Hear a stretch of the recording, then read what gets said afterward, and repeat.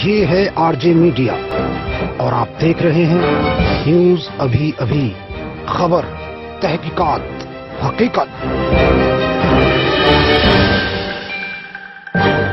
सहारनपुर विगत 12 अक्टूबर को देवबंद में भाजपा नेता धारा सिंह गोली मारकर हत्या के बाद मेरठ जोन के एडीजी प्रशांत कुमार ने किया खुलासा। घटना को अंजाम देने वाले दो अभियुक्तों को पुलिस ने किया गिरफ़्तार। बदमाशों ने भाजपा नेता धारा सिंह की हत्या, ठेका निरस्त करने को लेकर की थी। उक्त घटना का खुलासा करते हुए एडीजी मेरठ प्रशांत कुमार ने बताया कि सहारनपुर पुलिस ने घटना को अंजाम देने वाले दो शातिर अभियुक्तों, कंवरपाल व रविंदर, पुत्र गण सत्यापाल निवासी, ग्राम मथुरा थाना चरथावल, मुजफ्फरनगर को देवबंद के पास दिनांक 12 अक्टूबर को सुबह लगभग 8 बजे धारा सिंह, पुत्र भोपाल सिंह। निवासी कमला विहार, थाना देवबंद। की रेलवे, रणखंडी रेलवे फाटक के पास मोटरसाइकिल सवार दो बदमाशों ने गोली मार दी थी, जिसके बाद से उनकी मृत्यु हो गई थी। इस संबंध में उनके भतीजे मनोज कुमार ने एक अभियोग पंजीकृत कराया था। जो कि बनाम अज्ञात था।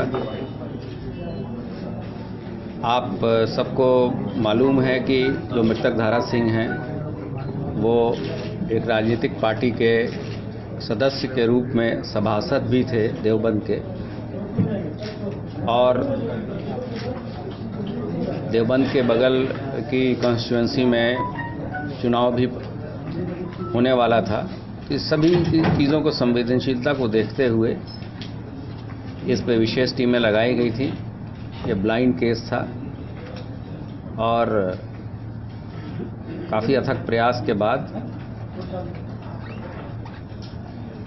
दो बदमाश इसमें से पकड़े गए और उनके पास से हत्या में प्रयुक्त मोटरसाइकिल और जो पिस्टल जिससे कि गोली मारी गई थी, वो भी बरामद हुई है।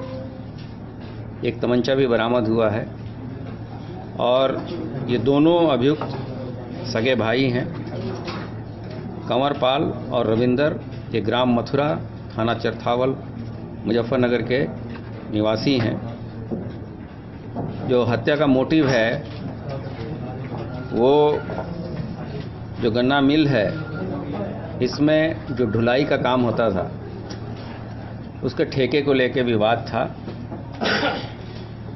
2016 में जो अभियुक्त हैं, उन लोगों ने वो अपने गाँव से त्रिवेणी शुगर मिल के लिए जो गन्ना ढुलाई होती है, उसका ठेका लिया था।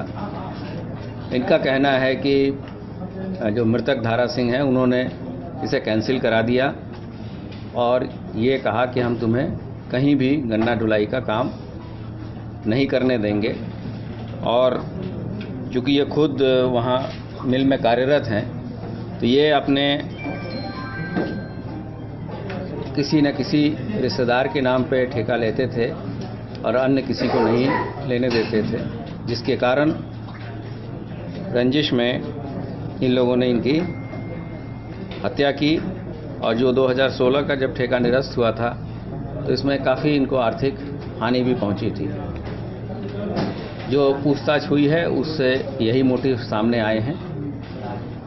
अब पूरे केस का पर्दाफाश हो गया है और इनको अब जुडिशियल रिमांड के लिए भेजा जा रहा है। चार साल पहले चार साल बाद क्या रंजिश निकल के आई चार साल पहले का ये लगातार कहीं भी ये प्रयास करते थे ठेका लेने का तो इनका कहना है कि धारा सिंह हमें नहीं लेने देते थे। ये सर कब से प्लानिंग की उन्होंने मर्डर की कैसे 2018 से। ये लास्ट सीज़न से ये लोग कर रहे थे। और चूँकि ये इनका मानना था कि ये सभासद हैं और वर्तमान में जो रूलिंग पार्टी है उससे जुड़े हुए हैं, इनके बहुत सारे अपने अप्रीहेंशन भी थे जो गलत भी हो सकते हैं। इनको ये कन्विंस हो गए थे कि इनके आर्थिक जो हानि हुई है या आगे इनके कारण ही हमें और कभी भी ठेका नहीं मिलेगा।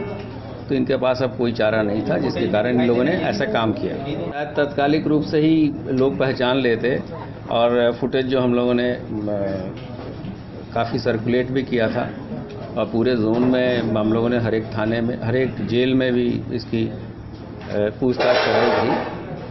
तो बहुत एक्टिव क्रिमिनल्स नहीं थे, इसलिए कुछ ज़्यादा टाइम लग गया इसमें। लेकिन अब पूरे केस का पर्दाफाश हो गया है और मुझे बताया गया कि घर के लोग भी संतुष्ट हैं और ये जो रंजिश है वो चीज़ें भी तस्दीक हो रही हैं हम्म? दस तारीख को एक बार आई थी। पूछताछ में पता चला वो।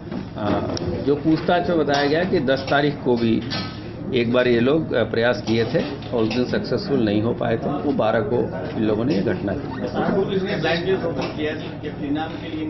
हाँ इनाम दिया जाएगा इनाम दिया जाएगा। इनाम दिया जाएगा रिकमेंड किया जाएगा डीजी साहब को क्योंकि ये बहुत सेंसिटिव केस था हमारे लिए और चुनौतीपूर्ण केस भी था। और इसके इसको लेके एसएसपी वहाँ लगातार कैंप भी करते रहे ताकि माहौल न बिगड़े। और इससे जातिगत समस्या भी हो सकती थी। बहुत तरह के संभावनाएँ थी।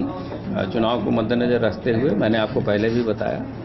तो इस चुनौती को स्वीकार करते हुए सहारनपुर पुलिस ने बहुत अच्छा कार्य किया है। और चूँकि मैं आज यहाँ नोडल ऑफिसर भी हूँ यहाँ का तो मैं आज दौरे पे आ रहा था। तो ऐसा चांस है कि आज ही जो है इस केस का पर्दाफाश भी हुआ है। अपनी तरफ़ से भी मैं बहुत बधाई देता हूँ यहाँ की टीम को, जिन्होंने बहुत ही रिकॉर्ड समय में और बहुत ही अच्छी तरीके से इस केस को खोला